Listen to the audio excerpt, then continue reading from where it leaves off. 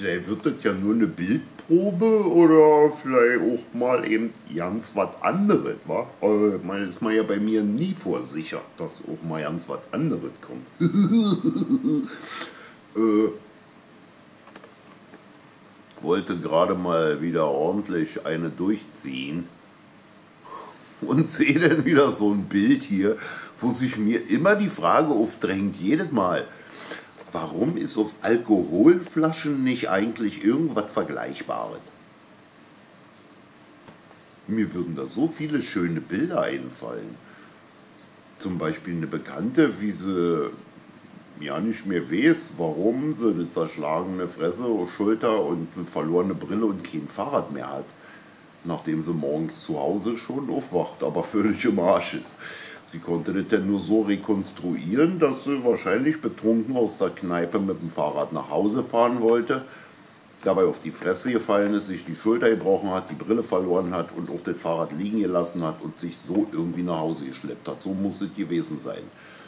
Und solche Personen sind dann häufig unterwegs und belehren andere noch über die Gefahr von anderen Drogen. also diese Bilder, die ich da im Kopf habe, die würden zum Beispiel auf jede Schnapsflasche hier hören. In meinen Augen. Eigentlich schon auf jede Bierflasche. Aber pff, ist so ein ganz anderer Gedankengang am Rande. Warum, wenn schon das Nikotin aus den Zigaretten entfernt wurde, geht mal gucken bei Rothändler und Gitan, wie viel Nikotin da noch drin ist. Gibt keine starken Zigaretten mehr. Aber man muss trotzdem sich angucken, dass die ganz starke Wirkung angeblich haben.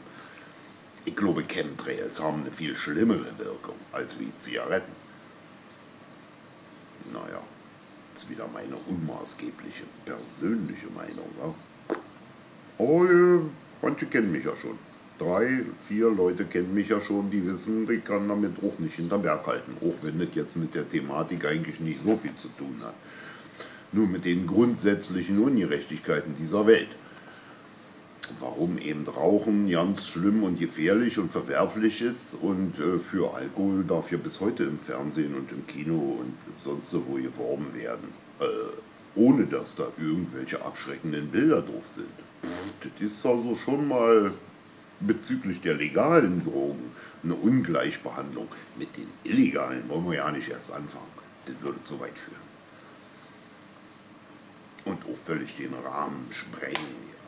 Insofern verkaufen wir das einfach erstmal als Bildtest. Ich weiß ja noch ja nicht, wie das Licht jetzt hier gerade war. Also ich muss erstmal, bevor ich doch wirklich weitermache, ich ziehe nicht durch. Das ist mal zu gefährlich.